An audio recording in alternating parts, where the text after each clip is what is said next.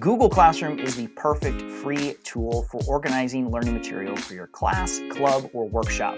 While it's very popular in K 12 schools, you can use Google Classroom for nearly any learning experience. Let me help you create your first class and begin organizing your resources. Hi, my name is John Sowash. I help teachers and students use Google tools in the classroom. To get started, you are going to need three things. Number one, you as the teacher will need a Google account to create your course. Secondly, you'll need some kind of device. You can use a laptop, Mac, PC, or Chromebook, or you can also create your class using a mobile device.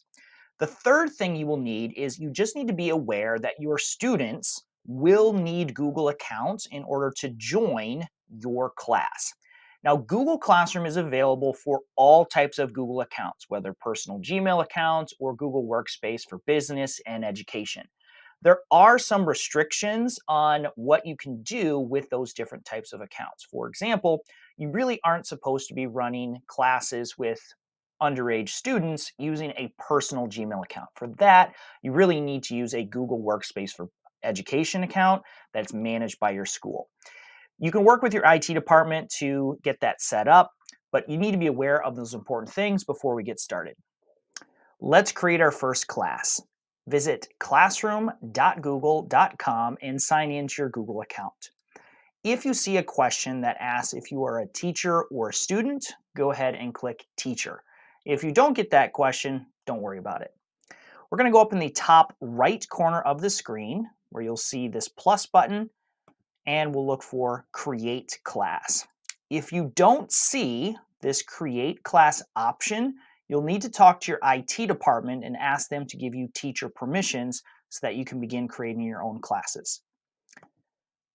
The only field that's required is class name. Now, in addition to the name of your class, I would recommend that you type in the date or the semester, something like winter 2025.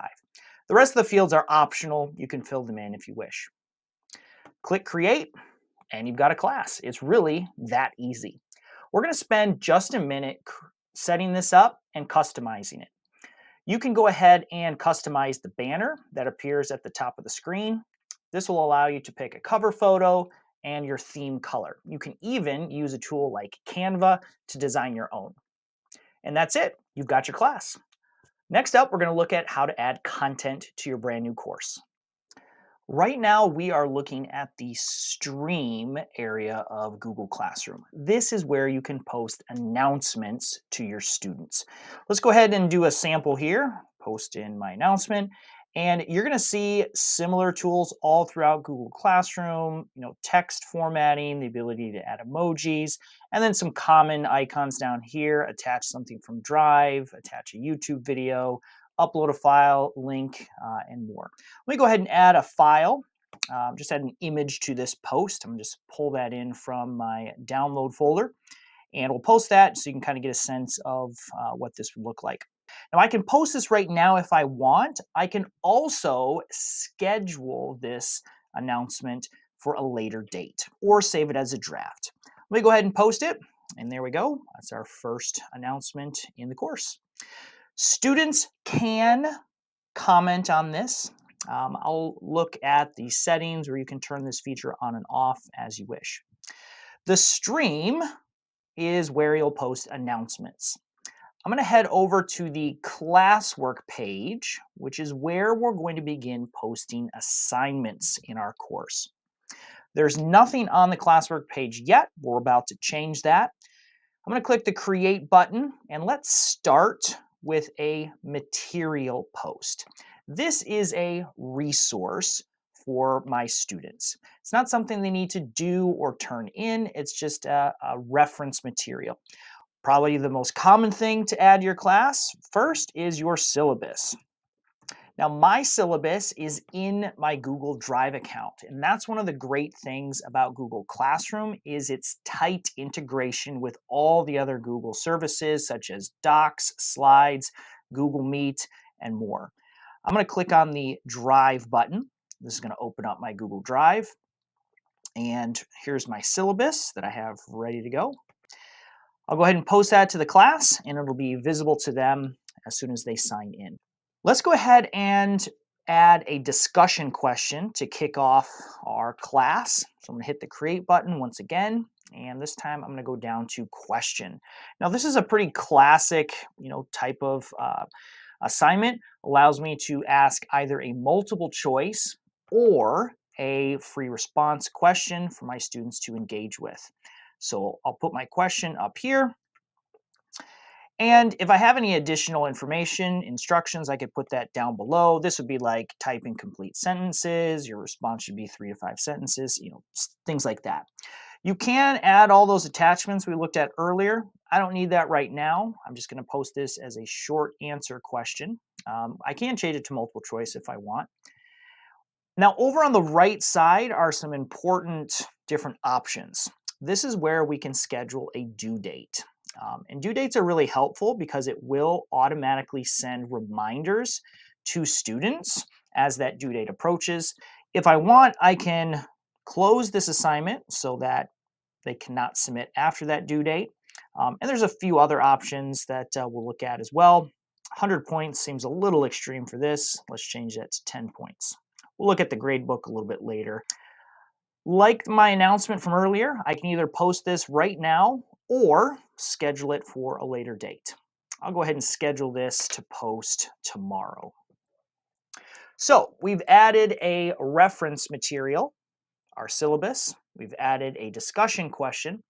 The third thing that we're going to add is an actual assignment. And this is probably the most common type of thing that you'll add to Google Classroom and also the most versatile and flexible. So that's that first one there. We'll click on assignment. So during my first week, students are going to be taking some notes on the scientific method. So I'm going to post my instructions there, call this the scientific method. And I am also going to attach a file from Google Drive. This is also a Google document, but you can see it could be a presentation um, or anything. So I'll go ahead and attach that. Now here's where things are a little bit different. Because this is an assignment, students are going to be interacting with this document that I've added. So I have three choices that you'll see. I can either give my students view-only access, I can allow them to edit my original file, or I can instruct Google Classroom to make a unique copy of each uh, of this file for each of my students. In my case, I'm going to select that third one. I want everybody to have their own copy they can edit and submit that. We got the same options over on the right in terms of you know grades and due date. That all looks good, and I'll go ahead and post that.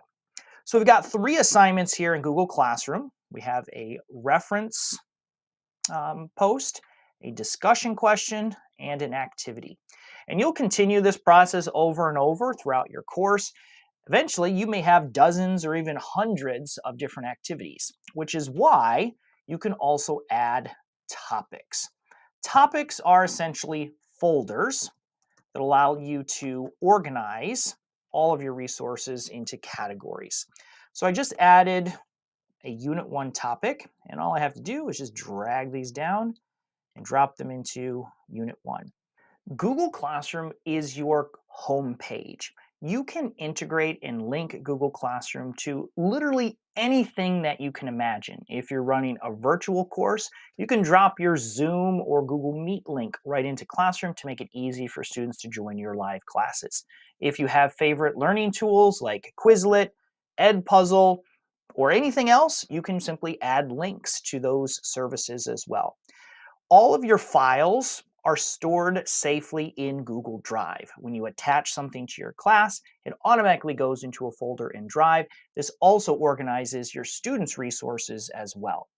Anything with a due date goes on the class calendar, and Classroom automatically sends reminders to students about their upcoming and missing assignments. Google Classroom is an absolutely an amazing way to organize all of your class resources into one central location. Let's take a deeper look at some of the settings to customize and configure your class. In my class, I'm going to click up in the top right corner of the screen on what I call the fidget spinner. Top right corner, click on that gear. These are the settings for your class. Now we already went through and added our class name. You can modify that at any time if you wish. We'll talk about inviting students in just a minute, but let's go ahead and look at this first section here, stream and classwork. If you don't want students to be able to post announcements to your stream page, you can turn that off here. Most teachers will change this so that only the teacher can post and comment. I recommend for this second section that you select hide notifications. This will hide your assignments from your announcement page. I like to keep them separate. Guardian Access is a feature that allows parents to receive progress reports about their students' academic assignments. It's important to note that parents can't actually get into Google Classroom. It's just going to send them an email summary showing what students the work has completed, what work they have upcoming, and if they have any missing assignments. If you're running virtual meetings, you can integrate Google Meet with your course. This is not on by default, but literally all you have to do is click generate meet link and that will add a virtual meeting link to your class. You can turn it on and off based on how often you meet in your classroom. The last thing we'll look at here are your gradebook settings. And there's a bunch of different options that may or may not be useful to you. Some teachers add grades to Google Classroom. Other teachers don't. They just provide feedback and then they'll enter the grades into the official school gradebook. You do whatever is comfortable for you. You can turn this off entirely by turning off um, the show overall grade to students option. You can also create weighted categories if you want, if you have different things like classwork, homework, and projects. This is all up to you. You can configure this however you wish. It's time to add our students. I'm going to exit the class settings page and head back to the stream. On this page, you can see your class code. It's going to be down kind of in the middle of the screen. This code is unique to your class, and giving this code to your students is the easiest way for them to get enrolled into your course. I typically just write my class code up on my whiteboard, or we can just project it full screen and invite them to visit classroom.google.com. Click that plus button up in the top right corner, just like you did, and say join class. Now, just as a reminder, all students must have a Google account in order to access Google Classroom. Typically, this is going to be a Google Workspace for Education account provided by your school. If you wanted some other alternative options, you can also email a class invite link to your students. That's an easy way to do it. They simply click the link and it adds them in.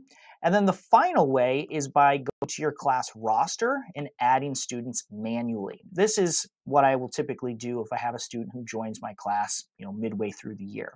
So I just clicked on the people tab, so where my students would show up.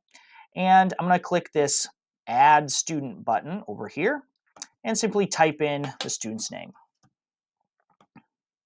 And that's it. They'll get an invitation. If you have other teachers who you work with through this course, you can also invite them as co-teachers. On the top of this page, this is where you'll see your teacher section. Right now it's just me, but I can click the plus button and add a secondary teacher if I want as well. The secondary teachers can see the students, the assignments, they can add content to your course. The only thing a co-teacher cannot do is delete the course. Congratulations, you have a fully functioning course. You are ready to teach your class, club, or workshop. Now, this was an introduction to Google Classroom, but there is so much more that you can do.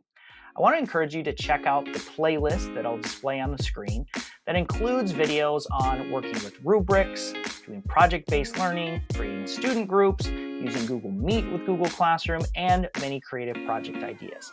I hope you'll use Google Classroom for many years and become a Google Classroom expert. It's a great way to organize your course.